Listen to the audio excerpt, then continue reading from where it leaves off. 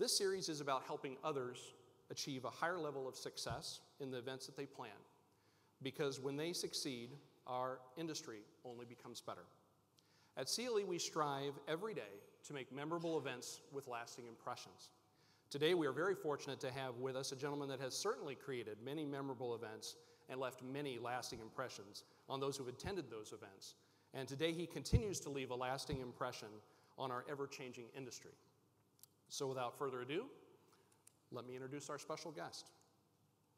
Our speaker, speaker is from Edinburgh, Scotland, and is the author, co author, and editor of over 30 books in the field of live events, including the very first textbook on the subject. His textbook has been continuously published for over 30 years. He was a producer of live events for 20 years, and his clients include Oprah Winfrey, Donald Trump, Presidents Reagan and Bush, and many other luminaries. At the age of 40, he returned to university to earn his doctoral degree and then began a 27 year teaching career at four separate universities. He is now Professor Emeritus of Planned Events at Queen Margaret University. During his teaching and research career, he received many awards, including being the first educator to be introduced into the International Festivals and Events Association Hall of Fame, three Lifetime Achievement Awards, and the Professional Convention Management Association Educator of the Year Award. He also created the first professional certification program in the special events industry and was the founding president of the International Special Events Society, that is also now known as the International Live Events Association. In 2019, his book of memoirs was published. The book is entitled The True Joy of Life, and it describes his 50 year career in live events, performance, production, and education. This positively reviewed book will be available to you following his talk, and he is happily, happy to inscribe the book for you. He and his wife, Nancy, have been married for 41 years in Edinburgh, Scotland. Edinburgh, if you didn't know, is regarded internationally as the festival capital of Europe. He and Nancy are also the proud grandparents of their first grandson, Hamish. Please join me in warmly welcoming guest speaker, Professor Joe Goldblatt.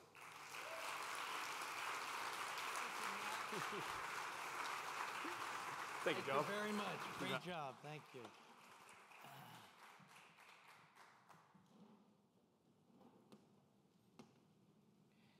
I wonder who's here today. If you're from the northern part of Des Moines or Iowa, could I hear you give a big whoopee? If you're from the southern part, can I hear a big whoa? If you're from the west, can I hear a big yo? If you're from the east, how did we do that, Matt? If you're from everywhere else, can I hear you? Now, I think you can do better than that. You know, in the events industry, oftentimes we come in three, four o'clock in the morning after producing a late event, as Nancy and I did for many years. And I'll never forget one time we came home and went to bed at 3 a.m. and at 4:30 there was a bouncing on my bed. It was our son Sam, who's now 36. He was then 3 and he was screaming, "Good morning, mama. Good morning, papa." So we leaned and we said, "Good morning, son. Go watch television." That wasn't enough for Sam because he knows why you came here today to this production talk. When I said good morning, he said, It's not a good morning, Mama, not a good morning, Papa, it's a great morning. By then, we were sitting halfway up and we said, Yes, son, great morning, go watch cartoons. Wasn't enough for Sam. He climbs on the bed, he starts jumping from one parent to the next, and he says, It's not a great morning, Mama, not a great morning, Papa, it's a grand morning. And indeed, that's what this day could become with your help. Something memorable that you will use and remember all the days of your life. But you're my partner today. So I'm going to say to you, Good morning. And I would like to hear from the timbre of your voices how much new information, knowledge, and maybe inspiration you'd like to take away today. So I'm going to say good morning. You say great morning, and let me hear the volume. Good morning. Great morning. Well, that's pretty good, but I know you can do better. Would you scoot your chairs back just a minute? Scoot your chairs back. I don't want you to injure anybody. Scoot your chair back. This time I'm going to say to you, as Sam did, great morning. And what I want you to do is leap out of your chairs. Creighton's going to lead you. And when you leap out of your chairs, I want you to put your hands in the air like this and really give me the most magnificent, grand morning you've ever experienced in your life. So, you ready, Creighton? You're going to lead them. I'm going to say, Great morning. You leap out of your chairs and say, Grand morning. You ready? Great morning, Des Moines. Grand morning. Well, indeed it will be. Give yourselves a big hand. Have a seat.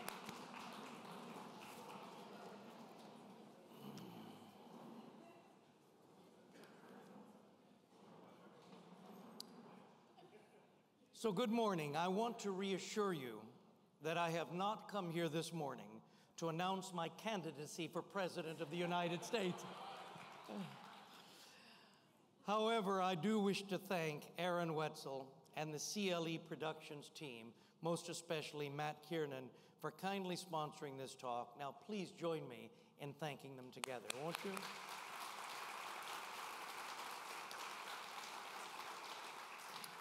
I have been visiting beautiful Des Moines for over 42 years. You see, 41 years ago, I married a beautiful woman from Des Moines, which is why I have repeatedly told other men all over the world if you want a happy life, go to Des Moines to find your wife.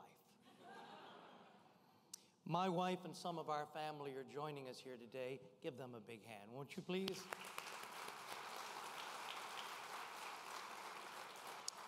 Of course, having my family here increases my nervousness.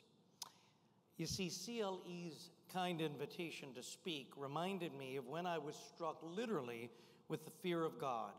I was invited to deliver the sermon in our 1,000 year old St. Giles Cathedral in Edinburgh. I asked the minister what he would like me to speak about, and he said, I'd like you to speak about 10 minutes and not much longer. Well, my friend Matt has given me considerably longer to share with you my thoughts, and he actually suggested the title for my address, and therefore my topic of never ending story, the continuing power and evolution of events, is one that I'm pleased to share with you today. I suppose Matt inserted the word history in my talk because he believes that I am one of the oldest living members of our tribe of early event leaders. Speaking of uh, aging, a few years ago, we redid our wills as we became dual citizens of both Scotland and the United States, two different legal systems. And after we met with the attorney, I said to my wife, Nancy, I guess we need to think about perpetuity, where we might want to end up. My mother has a beautiful tomb in New Orleans, Louisiana, and I'd very much like to go there and be with her in the tomb. And Nancy said, Joe, do you know how hot and humid it is in August? And I said, Every August I'll bring you back to Scotland for the festival. So a few years later, we were in Italy visiting our beloved Aunt Nina, and she rests in peace in a gorgeous cemetery with sculpture and so on. And once again, I said, Nancy, why don't we join Aunt Nina in Italy? And Nancy said, You know, I don't speak Italian. So that still is up in the air. However, one thing I have learned over the years of working with students is that concentration leads to greater learning outcomes. About four years ago, as an aging professor, the head of my university came to me and said, We've received a grant to teach all of the faculty mindfulness, and no one has taken up our invitation. And I was wondering if you might be the first one to demonstrate to the others that someone at your advanced age can learn this new skill. Well, I guess he was saying that I was losing it, and he was really trying to help me become more mindful. Not only did I embrace this, because every Wednesday afternoon they allowed me to practice mindfulness for four hours, and they paid me for meditating in a room. It was really tremendous. But I then introduced it to my students. And at first they were resistant, and then to my surprise, their concentration improved, the quality of their questions improved, and more importantly, their marks rose as a result of practicing mindfulness. So, to help you get the most out of today's session, I'd like to invite you to just take two minutes with me and let's tune our brains. Would you place your feet flat on the ground, please? Place your back flat against the chair so that you feel the chair supporting your back. Let your shoulders relax. And just concentrate with me for a moment upon nothing more than your breathing.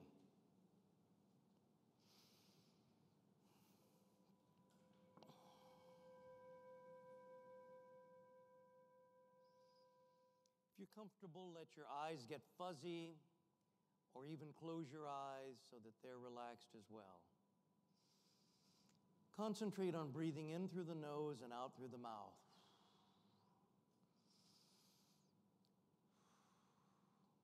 And now, as you breathe out each time, follow my direction and feel just your feet for a minute, planted on the ground, and the energy from the earth, the gravity pulling them towards the earth's surface. And now feel that energy move into the ankle, both ankles, the calf, both knees, the thighs, the pelvis, the lower back. Feel the energy start to gently move up the spine. Till finally, as you inhale and exhale, the energy is now between your shoulder blades. And as you exhale, feel the shoulder blades open widely like butterflies' wings.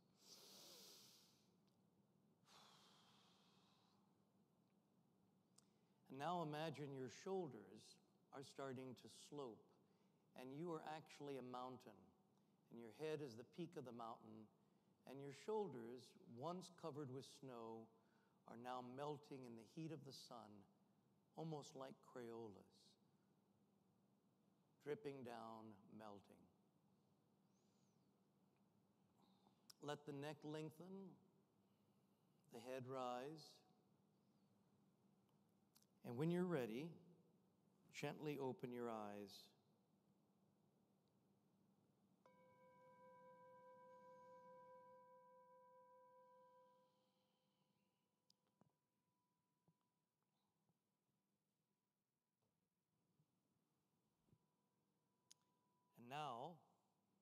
As I am mindful of our time together today, let's get down to business.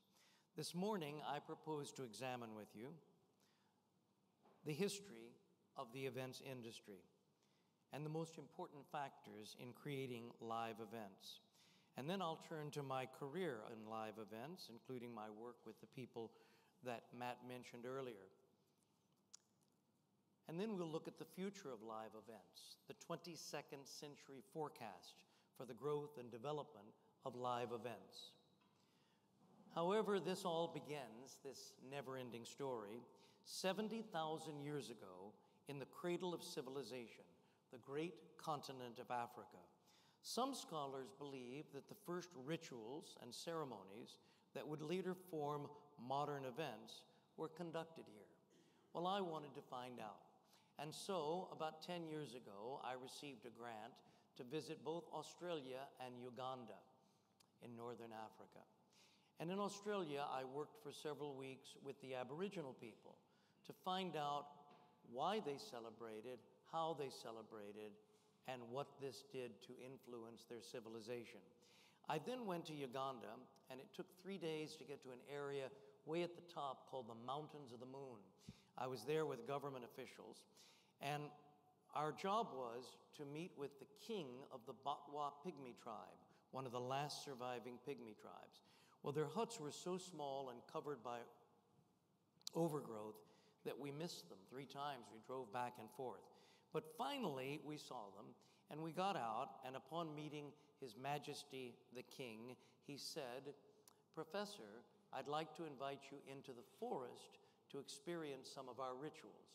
Now, I don't know about you, but when a pygmy invites you into the forest and it's your first meeting, you might just hesitate, you know? Think about it for a moment. But I turned to the government official and he nodded to confirm that this was fine. And off I went, and I found about a hundred pygmies sitting in a circle, passing around a pipe, and they were each smoking the pipe. They invited me to sit among them and be part of their tribe. I inhaled, and that's the last thing I remember about that research project. However, from this research with both Pygmies and Aboriginal people of Australia, I learned that every human society celebrates their joys, their sadness, and their eternal hopes for the future. I further learned that we participate in these celebrations for purposes of kinship and the magical and mysterious outcomes that may occur. You see, when I walked back from the forest with the king, I said to him, Tell me, as a result of these rituals and ceremonies, what is the outcome with your own members of your tribe? And the king said, I could explain it to you, but you would never really understand because you're not part of our tribe. It will be quite foreign to you. And when I said, Please, at least give me an indication of why you do this, he said, stopping in his footsteps, We do this for the magic and the mystery that might evolve.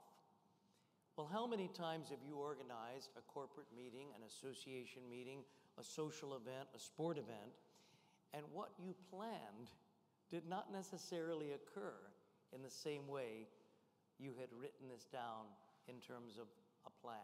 In fact, someone might have met there and fallen in love. Someone might have met there and proposed to their husband or wife. Someone might have met there and joined your association or been disposed to move their corporate business to Des Moines. So there is a lot of magic and mystery. So, in addition to these indigenous tribes and other tribal groups, they also understand and embrace the magical power of events. Perhaps the best example of this is many years ago in Washington, D.C., when my wife and I started our event management company, we were invited by shopping centers to produce events for them. And one day in November, a woman called who was the marketing director of the shopping center, and she said, Joe, I have a big problem. What is it? I said. She said, I've hired a man to play Santa Claus, and he's horrible. So over to the shopping center I went.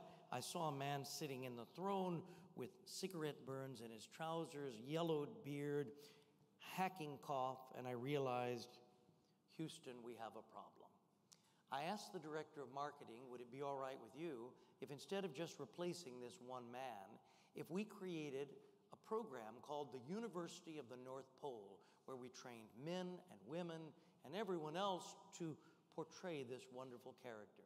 She agreed. So, year after year, we trained dozens of people to play Santa Claus, as as a result of this, there was a lot of publicity. In fact, I was asked every Christmas to go on the radio and speak to the children of Washington to tell them what they would like to have for Christmas. So, one year, when I was getting ready to go to the radio station, I told my son Max, Go into your bedroom, close the door, turn on the radio, listen carefully, because you're going to hear the voice of Santa Claus tonight. He might even call you by name, and he's going to tell you what you're going to get for Hanukkah. See, our family is Jewish, but we celebrate everything because we're in your business, right? Max closed the door. Into my bedroom I went. I pulled on the red trousers, the red coat, the white beard, tiptoed past his door so he wouldn't hear me, stood on the front porch, and I looked at my watch and I thought, oh my goodness, I'm actually an hour early. I've misjudged the time. The radio station is just around the corner. And then I remembered there was a little boy up the street named Matthew who didn't have the good fortune that Max did that Christmas. You see, in October, his father had suddenly left his mother. And so this is going to be a Christmas without dad. So I decided to pay a surprise visit to Matt's home. I knocked on the door, and this little five year old, the same age as my son, peeked out through the door, and you can imagine how surprised he was a week before Christmas seeing Santa on his doorstep. I didn't wait for an invitation. I pushed the door open, walked in, sat down, pulled the little squirming tyke onto my knee, and I said, Ho, ho, ho, Matthew. Every year I travel all over the world and see millions of children. And last year, when I poked my head down your chimney, oh, oh, I realized, Matthew, you're the luckiest little boy in all the world. Did you know that? He shook his head. I said, Oh, yes, Matt. Far greater than the toys I might place under your tree, oh, oh, is the love your parents have for you. Did you know, Matthew, they love you more than any other little boy in all the world? Well, with that, his mother Jill came out of the kitchen, tears streaming down her cheeks. And I was starting to get emotional, so I said, Matthew, I must leave now. I have much work to do before I return on Christmas Eve. But I have decided, because you are the luckiest little boy in all the world, Matthew, I'm going to visit your home first this Christmas Eve. Therefore, I want you to be in bed by 5 p.m. he was in bed by 3:30. Now, if any of you have children, grandchildren, nieces, and nephews, and you'd like me to make that call from Scotland, just give me your email and I'll be happy to call them for you. They'll go to bed early. Off to the radio station. Do you know Max even called in? He called in, talked to Santa Claus. I got home and I tiptoed past his door, hoping he wouldn't hear me. The door opened, little footsteps behind me. I turned around, and there was my son, awestruck. I realized I had disappointed him. But I pulled him onto my knee, just as I had done with Matt, and I said, Max, this red suit and white beard has nothing at all to do with being Santa Claus. Santa Claus is a feeling you have deep in your heart, not just one night a year, but all year long.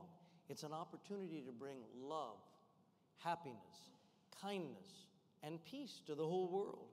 And I said, Max, the people who do this we call event managers.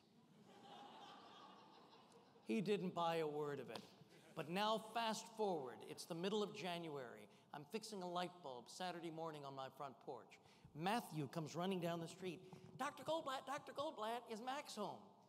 Max, Matt wants to see you. Then I decided to have some fun. Matt, did you have a nice Christmas? Oh, yeah. Anything special happened this Christmas? Oh, yeah, you didn't know?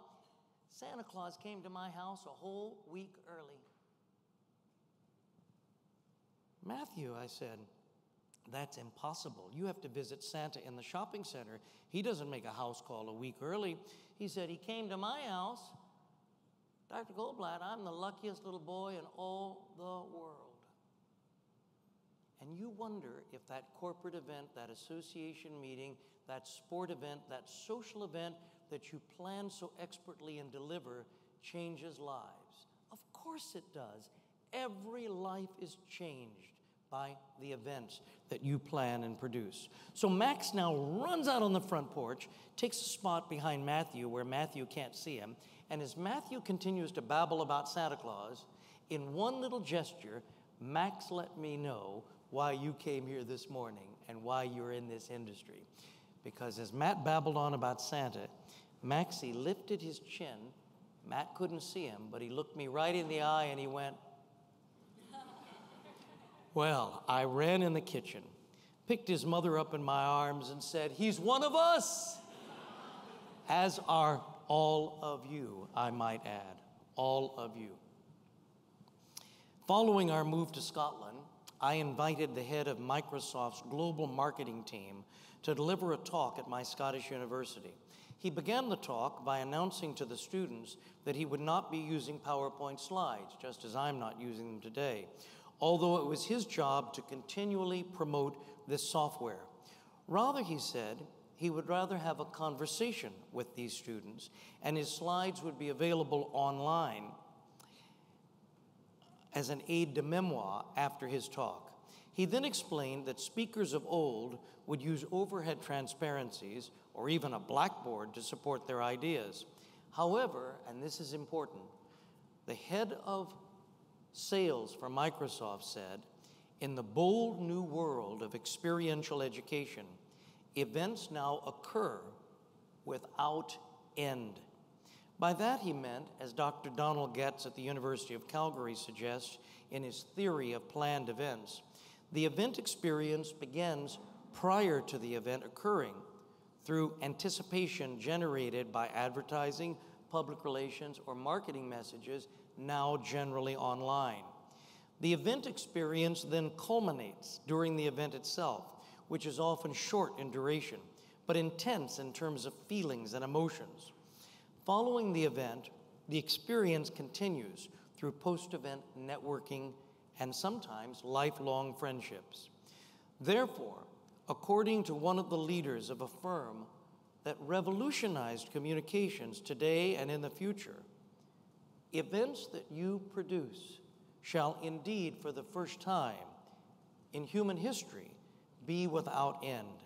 And I believe that you and your colleagues are the catalyst for this new revolution of achieving greater experiences and profound transformations through live events, one guest at a time.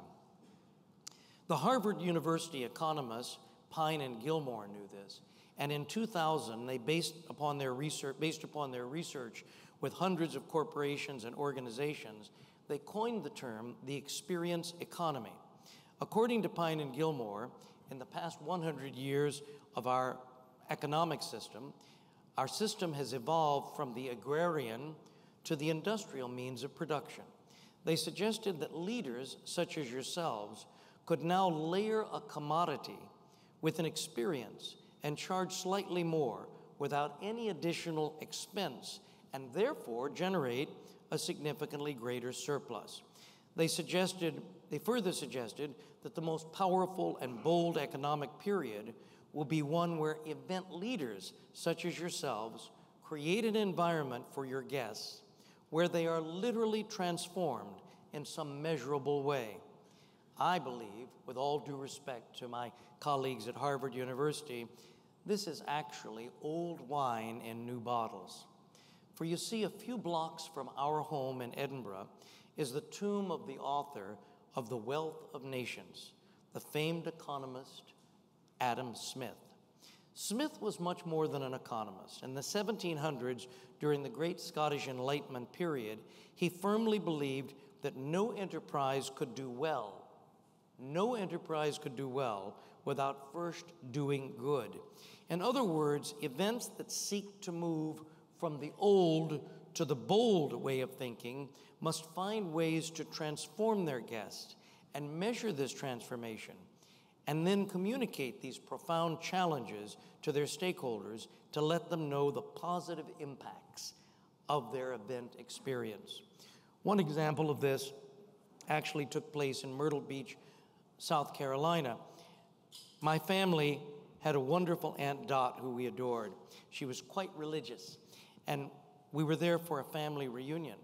And I said, having read the book, The Experience Economy, Aunt Dot, Nancy and I would love to host you for an experience you'll remember all the days of your life. She said, That's fine. And off we went to one of the businesses profiled in the book, Planet Hollywood. In we walked, loud music, moving lights, loud voices. And Aunt Dot actually turned to me and said, This is what hell must be like. I quickly escorted her out in the parking lot and I said, What's wrong? She said, I can't dine here. And so we found a very quiet Italian restaurant for a lovely evening that was appropriate for her.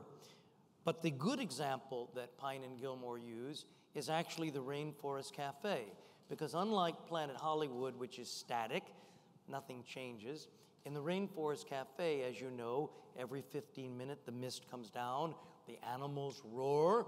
When you arrive, they invite you to explore the gift gallery. So they create not a static, but a dynamic experience. And I recommend that you consider this as you're designing your events. Add as much dynamism, change as possible. So, whether you are organizing and evaluating a small local event or a mega spectacle, according to the legendary producer of Disney's Main Street Parade, who was also the creator of the Radio City Music Hall Spectacular, Bob Jani told me when I wrote my first book in 1989, this is a man who had produced major spectacles. He said, The integrity of the event does not change based upon its size. So if you are holding a small cultivation event for philanthropic purposes for 10 people, the amount of planning, the amount of sensitivity, the amount of care that goes into that event is the same, according to Bob, as producing a Super Bowl halftime spectacular. Therefore, I believe, and some research points to this phenomenon, that the future of live events will be harnessed by professionals who carefully align the needs, wants, and desires of the audience with the outcome of the event. They align the needs, wants, and desires of the audience with the outcomes of the events. You see, Jani, Bob Jani, was one of the first producers to utilize flip cards in large stadiums to create images in the seats through engaging the audience as members of the cast. And now, 50 years later, we see stadiums equipped with LED lighting effects embedded directly into the seat itself. And we also see rock concerts with wireless electronic devices that enable the audience to be programmed, to create images and messaging that is then projected upon giant LED screens. And wireless systems have now further enhanced this idea. It is literally all about producing, as the Greek philosopher Socrates said many years ago in ancient Greece, the human outcome. You see, the term event is literally one that, that has origins in the Latin word a venire. A means out, venire means come. Therefore, all events are first and foremost indeed human outcomes. Perhaps that is why in 1989, after interviewing over 100 event professionals throughout the world, and this was done, by the way, before the internet made it easier, or email made it easier, when I wrote my first book, I came to the conclusion that special events are a unique moment in time, celebrated with ritual and ceremony to produce specific outcomes. And I believe this definition has stood the test of time, with this wee caveat. The 21st century event, as Adam Smith suggested, with his theory of the invisible hand of supply and demand influencing the economic system, is largely dependent on many other variables as well. One of these variables is what the Wall Street trader Nassim Taleb described as black swan theory. According to Taleb, who was one of the few Wall Street traders to avoid the economic crisis of 2007 because he anticipated that the economic performance within the markets was too good to continue, he removed his funds because he believed that an external event that comes as a surprise has a major impact and is often inappropriately rationalized after the fact with the benefit of hindsight. And he called this major event a black swan.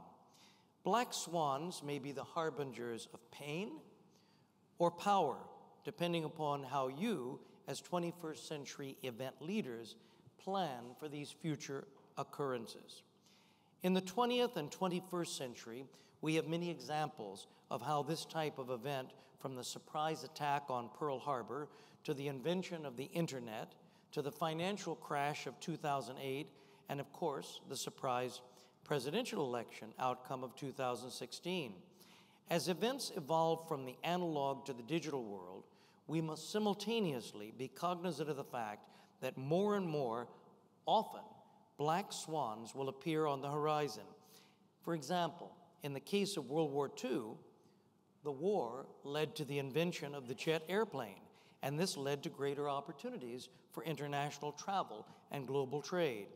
And we know that the internet brought unparalleled opportunities, but also worrisome challenges through limitless communications.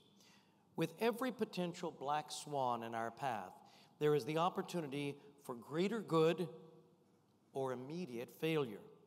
I believe, and again, research has proven, that the research and planning process for event managers directly correlates with the optimum financial su- success factor of all of the outcomes that you wish to achieve.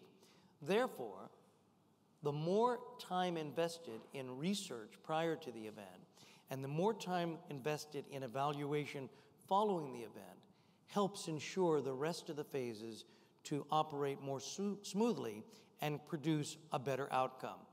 Now, one example of this could be seen in the opening ceremonies of the Sochi Winter Games, Olympic Games in Russia. You may recall, if you watched that on the television, that the lighting effect at the opening ceremonies actually failed when it attempted to project the iconic five Olympic rings as a hologram. Well, worldwide negative publicity resulted. The Russians somewhat overcame this by making fun of their mistake and fixing it in the closing ceremonies. However, the clear message here is that technology, with technology, rehearsal and redundant systems, backup systems, are essential when preparing a hopefully flawless outcome. And that's another reason that I admire firms such as CLE for hosting eight talks annually to help raise the bar of professionalism in this industry. During my half century of producing events, perhaps the greatest transformation and evolution I've seen is the rapid development and improvement and expansion of technology in live events. One of my latter books was entitled 21st Century Meeting and Event Technology, and it was written by two of my PhD students, half my age.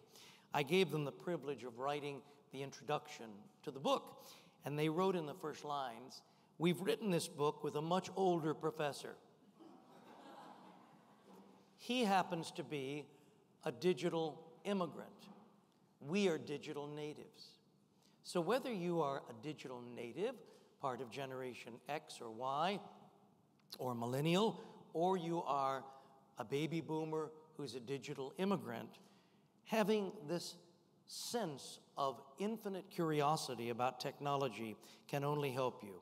So, some of these examples include wireless systems for audience interaction, including surveying, polling, and voting, the transition to LED lighting and video systems to reduce power usage and improve the overall presentation quality, the incorporation of social media before, during, and following the event to produce events without end, and the transfer from manual to automated registration and now online systems, as well as the use of moving lights and lasers to excite and create focus upon the stage, as well as generate versatility and send key messages, and perhaps most of all, the incorporation of technology.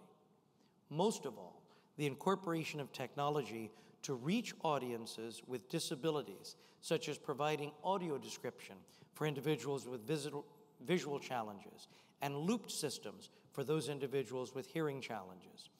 Firms such as CLE Productions, I believe, from what I have studied, are on the cutting edge of revolutionizing these transformations, and in so doing, in fact, are transforming the respect and admiration that live events as an industry so richly deserves. However, all of the machines we may invent shall never trump the need for well trained and highly experienced technical providers. One example of this was when I produced for a certain businessman in Atlantic City, New Jersey, the opening of his first casino, the Trump Taj Mahal. The day before, we had winds of 50 to 60 knots. We weren't sure we could continue to produce the event outdoors. However, I gathered together all of the technical leads lighting, sound, video, laser, brought them into my suite, sat them around the table. Thank you. And one after another, thank you. I said to them, you realize we will not have a rehearsal. You realize we have inclement weather, and according to the Weather Bureau, it may indeed worsen. How do you feel about producing this event live on national television tomorrow night without a final technical rehearsal? And the first man said, Lighting, ready to go. Next man said, Lasers, ready to go. The woman in charge of sound said, ready to go. And the last person turned to me and said, Didn't you actually hire all of us because we had experience with the Super Bowl, the Olympic Games, the Goodwill Games, and so much more? We're ready to go. And indeed, based upon their confirmation and help from the weather, we produced that event without any final technical rehearsal, and it was seamless, flawless, successful. So that's why it is so very important that you appoint the best technical support for your event. However, despite our best inventions, training, and efforts, as you can see from that story, we simply cannot control the universe. I've often believed that one of the reasons event management became such a popular major at universities and colleges is because students, somehow or other, truly believed that after a few lessons and with a little networking, they would soon be producing the Macy's or Tournament of Roses Day Parade, the Super Bowl halftime show, the Olympic Games opening ceremonies, and even Iowa's iconic RAGBRAI. They imagine themselves as great puppeteers from above, controlling thousands of tiny movements on a grand scale. They almost see themselves as event managers who are somewhat godlike, and those who support them as their better archangels. Well, we all know that this is indeed, to use the popular word today, fake news. Successful professional event management careers are the result of years and years of extensive progressive experience in a wide range of event settings. Interestingly, it is also helpful in some cases, and in some cases essential, to have professional qualifications, such as the internationally well respected Certified Meeting Professional CMP, Certified Special Events Professional CSEP, Certified Festival and Event Executive certification programs. Regardless of education and qualification, nothing shall ever transcend the requirement of experience and hard work. After all, these puppeteers pulling all the strings often have to make very difficult decisions with a moment's notice. One example of this is my friend Jean McFaddin, may she rest in peace, who produced for over 25 years the Macy's Thanksgiving Day Parade. Jean told me that for the first 15 years, as would happen, the police, because they were so integral to the parade, were given the honor of leading the entire parade. And they led the parade on horseback with about 20 horses. And of course, you know what horses do. And so the rest of the parade had to walk through all of the gifts that the horses left behind. So finally, Jean said, Enough of this. I'm going to use my southern charm to talk the police department into moving to the rear of the parade. I'm going to tell them that they've been selected to have the honor to escort Santa Claus, who's the big star of the parade. Well, the police listened, but they were having nothing of it. They didn't believe it. And the day of the parade, she called on the radio to ask one of her marshals, Where are the police? They're supposed to be at the rear in front of Santa Claus. And the marshal said, Jean, look up front and to the left. And there, at the beginning of the parade, just as she was ready to step off, were 20 police horses, all turned with their bum facing her. And upon a cue, well, you don't want to know the rest of the story. In many ways, event leaders such as yourselves who wish to transition from the old to the bold new world of modern celebration must remember that at the root of our efforts is the opportunity to change lives for the better. In this regard, there is a need for a revolutionary approach to how we envisage modern events. Events are not only placemakers, as some city officials prefer to describe them, they are fundamentally change makers. Yes, as Pine and Gilmore concluded, events have the ability to transform people, organizations, communities, cultures, and cities. Now, you may ask, well, how do you measure this change? I was asked in my research institute in Scotland to study an event entitled Celebrating Fife. Fife is a kingdom near Edinburgh where most of the Scottish kings were first crowns, such as Macbeth and Malcolm and so on. And one year they decided to orchestrate 400 events, and they appointed me to measure and evaluate them. So we selected two tools for doing this. We, of course, had the basic economic evaluation, but then we wanted to measure what we call the happiness factor or well being. And we used a scale called the Warwick Edinburgh Mental Health Well-Being Scale and one that measures communities called the Social Impact Progress Scale, SIPS.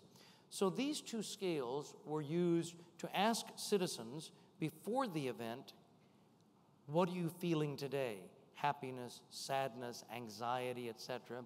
And then after the intervention of the event, we would ask the same battery of questions and we would be able to measure numerically whether the scale rose or fell. And in every single aspect of the event that we measured, from food and beverage to transport to parking to programming, etc., the scale rose significantly. The Council has now adopted that as their official measurement tool to comprehensively measure how events deliver outcomes for communities. But despite our best efforts to measure and evaluate every aspect of any event to continually prove the worth, such as through economic impact, has increased or remained static for investment, I really believe that all of you know in our hearts how important it is, how important our work is to those we serve. When I was studying for my doctorate at the George Washington University, my dissertation director said, You've done all of these quantitative studies. Now it's time to do something that deals with how human beings feel, a qualitative study. And he sent me to a nursing home, a care home on the outskirts of Washington, D.C., in Bethesda. And I remember walking into the room, and there were about 10 people seated around a table in wheelchairs, and they were all quite old, and some of them quite unwell.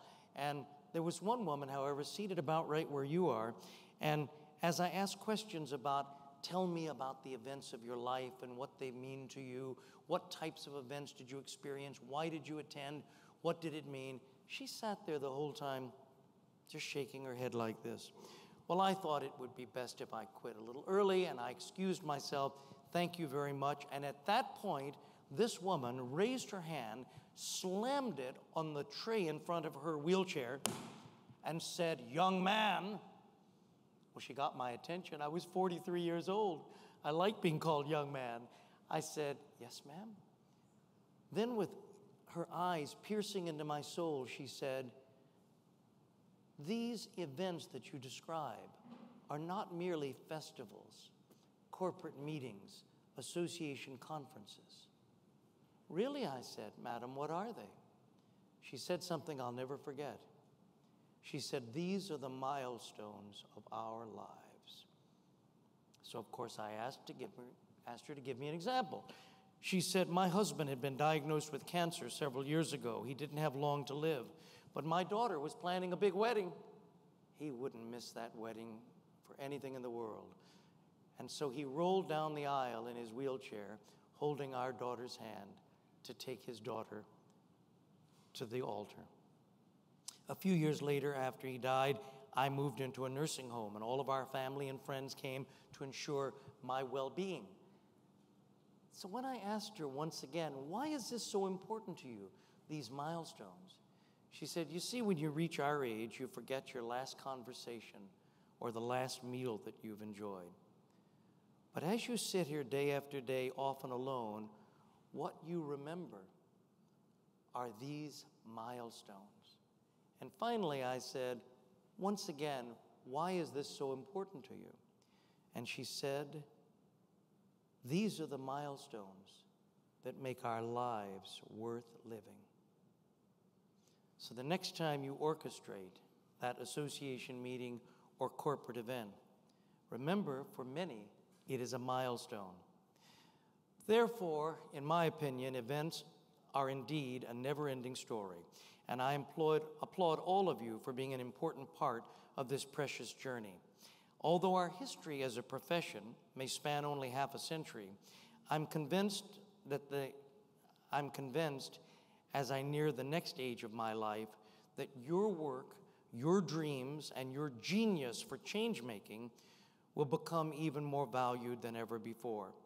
You know, this year we celebrated, commemorated the 50th anniversary of the first moon landing and also of Woodstock, and both were seminal events in global culture.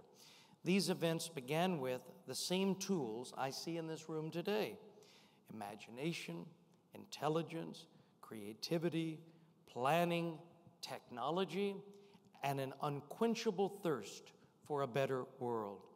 So, whilst we savor the traditions of old, let us in this profession become architects of a bold new world, one with events without end. Indeed, it is our gift to future generations to advance this never ending story so that at events, those who follow us may look upon your efforts as truly and perhaps merely a golden era for celebration. And as this golden era unfolds even more, it will require brave and courageous men and women such as yourselves to advocate on behalf of the value of live events within your villages, towns, cities, states, and nations. I also believe that professionals such as yourselves are also helping every day to create what I describe as the movement from the age of uncertainty to the age of adventure. In the 22nd century, I believe we will have moved from the golden to the platinum age through the seamless integration of technology, such as being developed by CLE Productions and others to create events without end. This event, as you know, is being live streamed today and then will be available online as a recording in perpetuity. Well, a son of my adopted land of Scotland knew this very well. Let me tell you about him. He was the son of a farmer originally from Aberdeen, Scotland. He was born in Virginia and he went on to fight for religious freedom. Religion played a key part in his life. His father and namesake uncle were both devout and were both major influences in his young life. Nevertheless, he was very uncomfortable as he became a teenager and a young adult with the role of the Anglican Church as the established religion in Virginia. And so he fought for religious liberty throughout his entire career. He enjoyed life and celebrations. Like you, he was a host at the Hanover Tavern, and as part of his duties, he entertained the guest by even playing the fiddle in the evening. Among those who stayed with him there during this time was a young Thomas Jefferson, age 17, who was en route to his studies at the College of William and Mary. While at the Hanover Tavern, he became interested in the law and he finally became a successful lawyer. He was especially interested in the universal rights of all citizens and fought to repeal an unfair tax. He was accused of treason. However, he prevailed.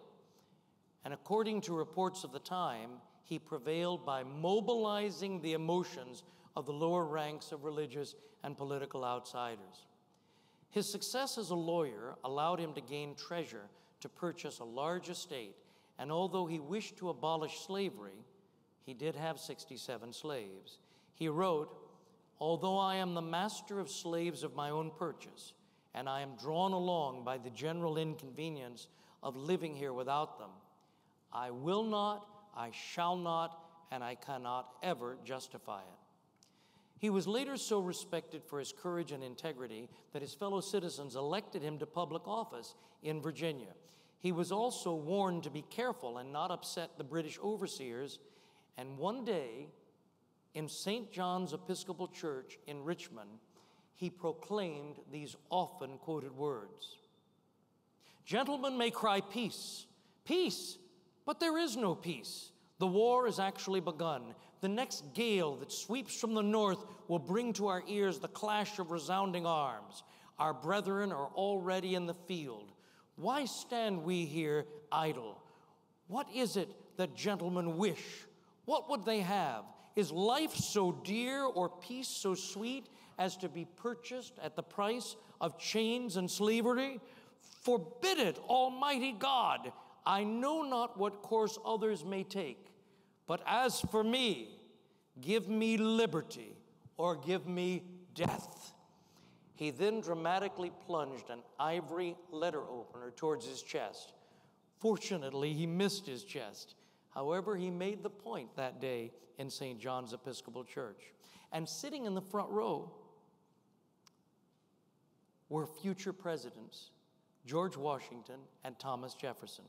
And as a result of his speech, troops from Virginia were dispatched to help win the U.S. War of Independence, a speech to be remembered for eternity. As a young child, my father would recite these words to me over and over again. They were, of course, written and proclaimed by the great patriot, and may I add, also like some of you, a host and a musician. This was the immortal American patriot, Patrick Henry. You see, my father, as the son of first generation Jewish immigrants to America, knew in his heart that liberty was a gift that we must at all costs seek to preserve our right to promote freedom of speech, to create new ideas, to stage new parades, to orchestrate new festivals, to assemble large enthusiastic crowds through RAGBRAI, and to celebrate our enduring human spirit. My father, when he turned 80, telephoned me one day in Washington, D.C., and he said, Joe, I've decided to run for mayor of Dallas, Texas. And of course, I was, as we say in Scotland, gobsmacked, shocked. 80 years old, he's going to run for mayor. But the backstory is that years earlier, Papa had run for city council and he had lost by just a few hundred votes because the election took place all over the city and the people in other parts of the city did not know him. So, in losing, he learned how to win. He filed a lawsuit in the Supreme Court of the U.S. I encourage you to look it up on Google Goldblatt versus the United States of America. And even though the Supreme Court did not rule in his case, it so embarrassed the city officials in Dallas that they changed the legislation to now elect council people by their individual districts. So the second time he ran, he won by a few thousand votes, and the third time he won by an overwhelming majority. Well, with this encouragement from the people, he decided he would run for mayor. And he said, Would you like to come home and help me? Well, I said, Papa, let me talk to Nancy first. Of course, she had already packed my suitcase. She had been talking to my mother. And off I went to Dallas. When I arrived, I said, Papa, how much money do you have in your campaign war chest? He said, More money than any other council races, over $25,000. I said, How much does the other man have? He said, Over a million dollars. What does the other man do? I asked. Oh, he's the current mayor of Dallas. I said to Papa, How will we possibly win this election with only a week to go, very little money, running against a powerful figure? He said, Joe, where we have little time and little resource, we will make every moment of every day a special event so that we excite, we engage, and we influence others to follow us. So, the Thursday night before the Friday election, Papa said to me, Go in the closet and get that big banner and put it in the truck. I did as he commanded. Down we went to Central Expressway, which is like one of your highways, at rush hour, bumper to bumper traffic. And my father had always been a major proponent of mass transportation. He wanted a monorail throughout the city of Dallas. And so Papa and I unfurled the banner, and it simply said one phrase Max, my father's name, says you could be home by now. Well, people started honking their horns massively, jumping out of their cars. Women were kissing him. Helicopters with cameras were filming him from above for the six o'clock news. And the next day, when there is to be no coverage in either newspaper of either candidate because it might unfairly influence the election, there on the front page of the Dallas Morning News, top of the fold in color, full color, oh, I forgot to tell you, when he was standing on Central Expressway, he was wearing a leprechaun costume. the people who organized the St. Patrick's Day parade thought it would be clever having the first Jewish city councilman be St. Patrick, the grand marshal of their parade. Papa kept the costume, wore it on the expressway, and the next day there he is. So that night, around 10 o'clock, the results are coming in, and we were ahead by thousands of votes. And finally, at 1 a.m., the votes were tallied and the official announcement was made, and we lost by 200 votes. Well, you can imagine everybody was disappointed, but not my father. He simply said, Now, if you will follow me across the street to City Hall, I will explain what we're going to do next. Off he went, and indeed, he had preset 200 chairs, a stage, sound system. And he said, Ladies and gentlemen, this election was not won, it was stolen. And I will prove beyond a shadow of a doubt I am right. Well, do you remember a few years later in Florida, there was a certain voting issue with Chads in the Bush Gore race? That was the same system used for the first time in the Dallas mayoral election because I was interviewed by the New York Times asking me if I was aware that it could have influenced my father's election as well. Papa got tired of fighting. He went home to rest. And in fact, the day after his 60th wedding anniversary, he died suddenly of a heart attack. A newspaper reporter wrote a tribute about Papa in the newspaper, and he said that unlike Socrates, who was always described as a political gadfly, which is why Socrates took his life, he said, My father was more like a firefly. You have fireflies here in Iowa, don't you, in the summertime? A firefly, that bioluminescent insect with that iridescent light that you follow just to see where it might take you. Well, I didn't think very much when I read that because I was still quite sad of losing my father. But one night in Washington, D.C., after teaching a late night class, I drove home through the park. And as I was halfway through the park to my home, I looked over to the right, and there in a field was covered with fireflies.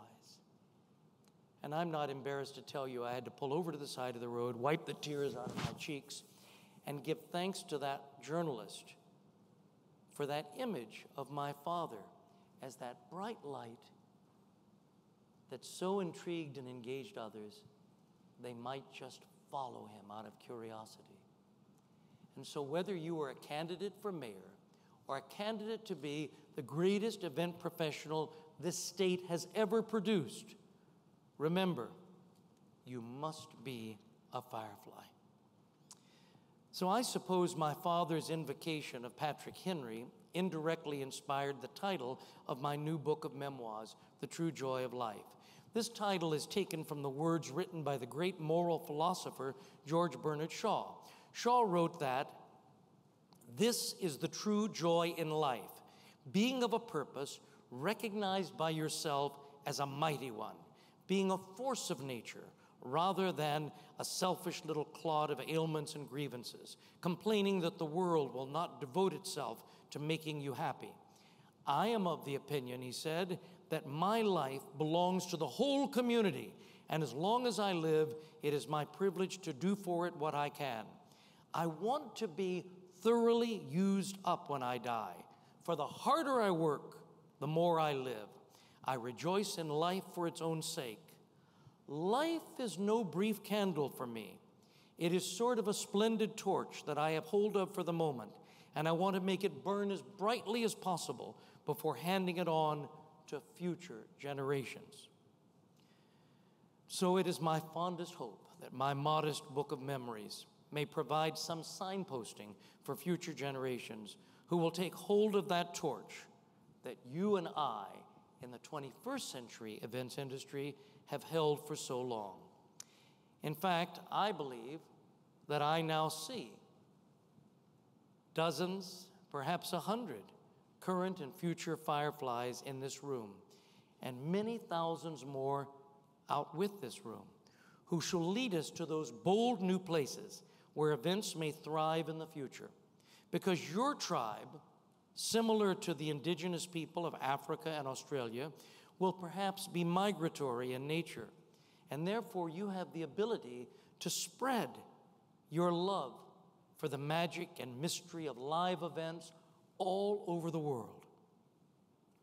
So I wish you good luck as you embark upon your journey, and I look forward to following your bright lights to see where they might take you and in turn take all of us. And please allow me, in our Scottish tradition, to offer a toast to you.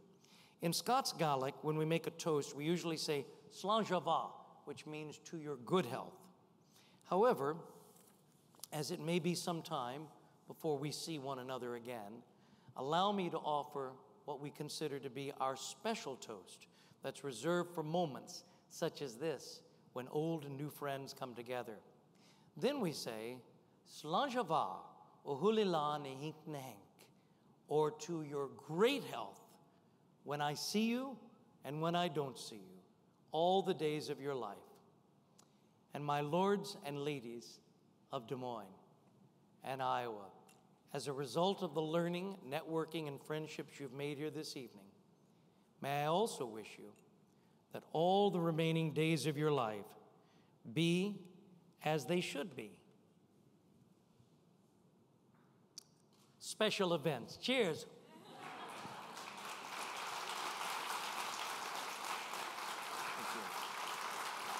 Thank you. Thank you. Thank you very much. Thank you. Thank you. Thank you. Thank you very much. Thank you. Matt, over to you. Would you like to answer some questions? Sure, you go One ahead. two. Uh, we have uh, actually a, a few minutes, so if anybody would like to ask Joe a question, I have a microphone. We kind of walk around, and Joe can answer those for you. I'm not going to pick on Creighton because he already led us in the, in the welcome this morning. So. Sometimes, Matt, people are shy about asking the first question. So, who has the second question?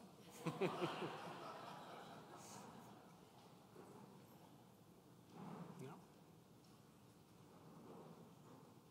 Ah. Chris. There you go. Would you tell everybody who you are, please? Sure. Chris Anderson, Director of Philanthropy at the Playhouse. Um, for an event that you did not put on, but you went to, what was the, the best or the most memorable experience from that event? Not the event itself, but an experience from that event. I am so pleased you asked that question because you're in the field of philanthropy. One of my dearest friends was the producer of the Athens, Greece Olympic Games opening ceremonies, David Zolkwer. He was then brought to Scotland to produce the opening ceremonies for the Commonwealth Games. One of his ideas, con- concepts for the Commonwealth Games, was that there was a welfare housing community that had been abandoned. The buildings had been abandoned for 20 years. And he was actually going to blow them up live on television. A countdown. Now, why would he do that? Because it creates viewership. People will stay watching the four hour ceremony right to the end to see kaboom. Well, I was interviewed on BBC television about it. I said it was a great idea, it was logical, it absolutely uh, followed the narrative of the revitalization. Out of the ashes would grow this new city of Glasgow. And then I went to one of my political conferences, and one of my oldest, dearest friends in Scotland said to me, Could I speak to you privately in this room? So we walked in the room, and he started to shake a little bit, and his eyes teared up. And he said, Joe, I didn't appreciate what you said on the BBC the other night. And I said, Why, Doug? He said, Because that was my home.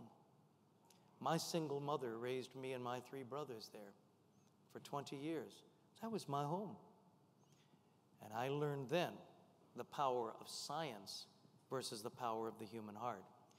So when I reported this back to David, he said, Joe, we've decided not to do this because of the pushback, but instead we have another idea. And here's how it worked.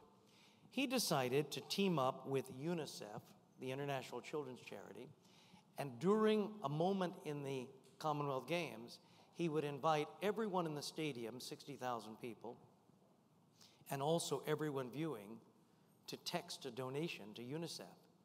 Now, it's done quite commonly today, but check the history. This was the first time this was ever done in 2014. And to date, that appeal has raised over 34 million pounds. So the linkage between philanthropy and live events, I think, is going to grow. And you're beginning to see it with events like the Warrior Games, Invictus, and so on. I think you're going to see it grow and become, like my tartan, uh, indispensable in terms of how one strand supports the other. So thanks for asking that. Next question. Who's got another one?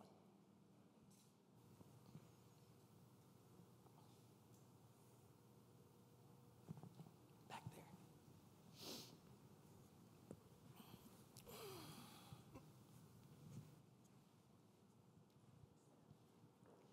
Hi, Shanna Davison, Aspire Event Management. In all of your years of experience, what has been your biggest challenge with an event and how did you overcome it?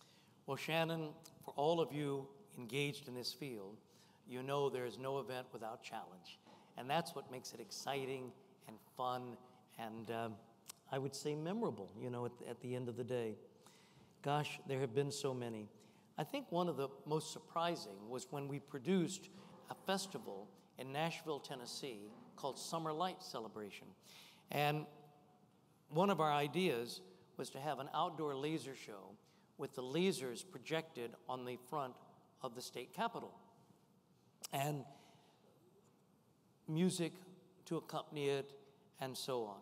And so every night at 10 o'clock, to keep people there, just like Disney with the Main Street Electric Parade, we would offer this free son et lumière sound and light laser show. But as we began rehearsals, the architect of the Capitol walked over to me and said, I'm responsible for this building. You will not project lasers on this building.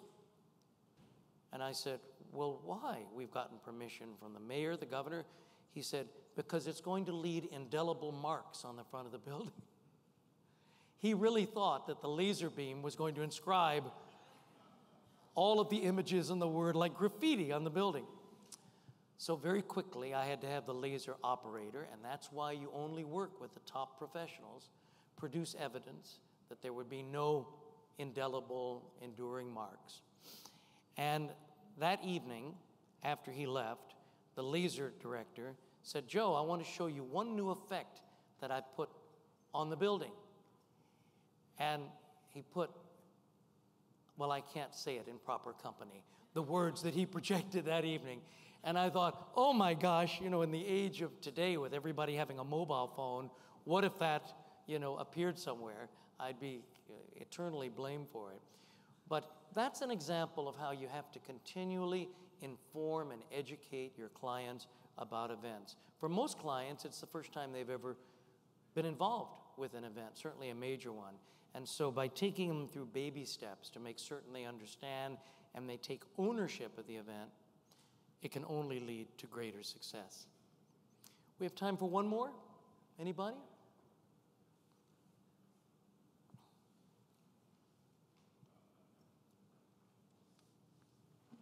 Over here? Did I see a hand? No? Okay. That's us done. Thank you very much. Cheers. Thank you, Matt.